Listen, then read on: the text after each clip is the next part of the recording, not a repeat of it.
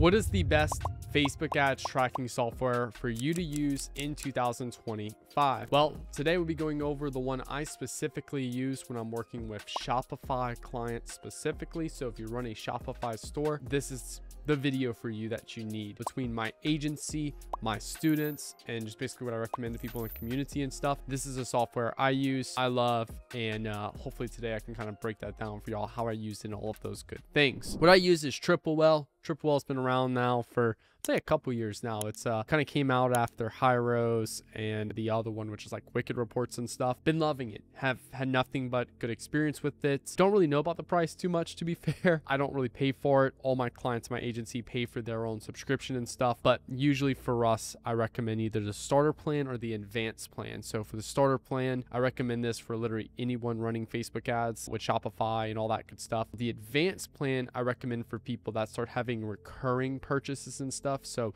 you know, you're starting to scale, starting to spend a couple thousand dollars a day, you're starting to have people come back and buy again in your business. Then we're going to switch over to the advanced plan so we can get the customer cohort analysis, which I'll show in a little bit. Now, just kind of opening up Triple Whale itself. This is like the first thing you see right here is your custom pins. Custom pins are just things that like you specifically pin right here for metrics you want to look at on a day-to-day -day basis. And we'll go over these in a little bit of each of these metrics, but these are the ones that I look at on a day-to-day basis just for, you know, kind of immediates that I want to see. Now, as you start to scroll down, You'll have custom metrics. These are things that we've actually never set up. These are things that just come based with Triple Whale's plan. You can see like net profit, ROAS, MER, net margin, ads, NCPA, and CROAS. And then as we scroll down further, we'll see more specific things like attribution channels, Facebook, Klaviyo, Google Ads, Pinterest. We're only running Facebook and Klaviyo for this. We're not actually spending anything on Google Ads itself. And then we have web analytics below, which is just more of like your website analytics and stuff, bounce rate, session duration, all those good things. Then you have all of the metrics for your Shopify store itself. And then you have meta ads specifically. And then they'll also have other ones like Google, email, and um, any other like platforms you may be on. Then lastly, you have expenses here. And these are all the expenses that are pretty much taken out of gross revenue uh, from this. Here we have shipping, COGS, and payment gateways. This particular client makes all of their clothing. And when I say makes, they, they order a couple thousand black t-shirts and then they have a press. They press it and then they ship it out. So it's pretty low expense uh, business itself. Now, from there, we'll move over to what like a lot of people use these software as far as the actual attribution side. So for me here, this is where I'll go to marketing acquisition inside of Triple Whale. And then I'll get this nice little panel here for all of the different channels that we're on. Usually I'll go and source it and just look at Meta itself because we're a Facebook ads agency. So we specifically focus on the Facebook ads side. So in here, we can see our ad account, exactly how we would see the ad account within Facebook Ads Manager. Here we're looking at the last seven days, and then we can also customize the attribution model we want to look at. So in my case right here, I use triple attribution. That's the one I recommend for 99% of people right there. You can use total impact, for example, but like you just need a little bit more data for total impact to become open. So some people they they hop on Triple Whale and like total impact is not available for them yet. And then there, there's these other ones which again just unique unique scenarios that we use those but for the most part triple attribution is the safe one that you can use. And then occasionally we'll bounce back and forth between first click and last click. First click is like what are the ads that are generating the first clicks for the business. So basically converting cold audience. And then what are the ads that are converting people after they're already entered in our ecosystem? And sometime this is used in rare scenarios where we're just not really sure yet if there's an ad we want to turn off or we're having issues with gaining more new customers. Now, inside of here, we can click on the campaign and we get the ad sets and then we can also click down on the ad sets to get the actual ads for the ad account itself. Here we'll see the triple reported ROAS right here and then the ROAS Facebook report. So you actually can see both of those numbers, which is really cool. You can also click on purchases right here, like the number, and you can actually see the specific orders that came through for that particular ad, which is also really cool. And then the last thing you can see right here is NCPA, which is something I really like to look at because this is showing me the ads that are doing really well for acquiring new customers. For example, this top spending ad has a $185 new cost or new customer cost per acquisition, whereas the one right below it has a $63 new cost per acquisition right there. So this one's actually doing a way better job at acquiring new customers versus the top spending ad itself. We can also see other things like AOV, which is cool. Some of y'all already have this reported inside of Facebook, so it's nothing new, but that's also cool to see that right there. Now, as far as when you're making decisions and stuff, you don't want to be bouncing back and forth between do I look at Facebook reported ROAS or do I look at Triple Whale reported ROAS? You have to pick one and you make all your decisions based off of that one. If you jump back and forth between the two, what's essentially going to happen here is you'll have a lot of mixed data because what's going to happen is, you know, like one day you decide to do Facebook, one day you decide to do Triple Whale, and it's it defeats the whole purpose of an attribution software. And I've seen that so many times where people are like, oh, well, Facebook's reporting well today, so I'm going to use Facebook. Or Facebook's not reporting well today, I'm going to use Triple Whale data. And it just defeats the whole purpose of using the software. You have to have one North Star you make all your decisions uh, for. Now, outside of attribution is where we're going to start looking at cohorts. Um, I work with a lot of brands that have a lot of, of returning customer revenue. So it's important for me to understand those customer cohorts. So if I click to the left right here and go to customer retention, I can see my cohort analysis here. Now, about customer analysis, it actually allows me to see the LTV of a customer over a period of time. So in this case right here, we have you know, first order is $62. So that's basically just my AOV right there. Month zero is like if I purchase within zero and 30 days of that first purchase. So if I purchase today, October 15th, and I purchase again tomorrow, October 16th, I'm still within that zero to 30 day window. So month zero is just people that are making additional purchases before we go to month one. Month one would be November 15th to December 15th. And then month two would be technically December 15th to January 15th if I'm looking at the uh, date today, which is October 15th right there. So in this case right here, month one is not like 0 to 30 days that's actually 30 to 60 days right there month 2 is 60 to 90 month 3 is 90 to 120 and so on all the way to month 12 now you can see right here i have the metric set to ltv all customers. I'm turning on cumulative to get this nice consistent number right here. And if we look at this, we notice that our first order is $62 and 12 months later, our customers are worth $83 for this for us. So that's my L, our LTV over 12 month period of time right there, which is awesome. Now, the next thing that we can look at here is our retention rate. So, what percentage of our customers we retain on the brand? This is extremely important for you guys who are running supplement brands or MMR offers, so monthly recurring offers, where you're doing subscription basis here. I want to see what that retention rate looks like over a period of time so we can be more predictable with our revenue.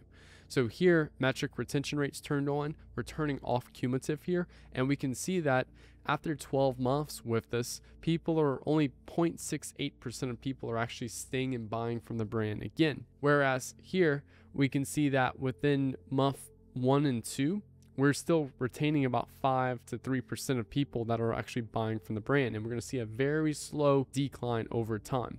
That's okay because it's normal for people to stop buying with this over a period of time. What we want to look for here is where are the huge jumps at? right? So if it was like 5% every day, every month, and then all of a sudden went down to 1% and just declined over that, that's a problem right there. So we need to understand why we're seeing that big dip and how can we counter that with some strategic emails that are going out to those people that just randomly fell off the brand. Now, what metrics do I mainly look at when using these attribution software? So this is where it becomes down to the custom pinned ones that I have at the beginning of the video, where I have our total Shopify sales, total amount of money we're spending on ads.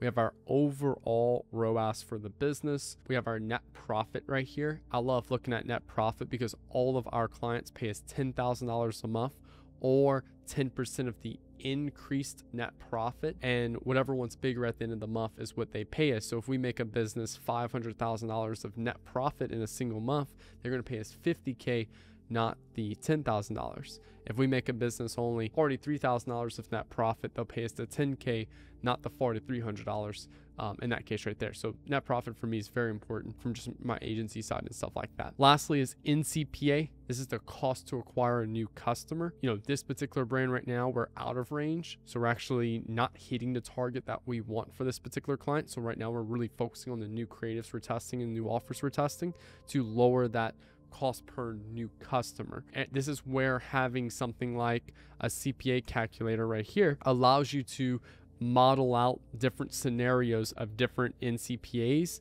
to see which one works best for you and which one you want to build and scale your business upon because Facebook is a is is a, a new customer acquisition tool in that case right there. So that's why we focus a lot on that NCPA side. Now, the next thing I like looking at here is the uh, customer cohort analysis of the new customers we're acquiring on a month to month basis.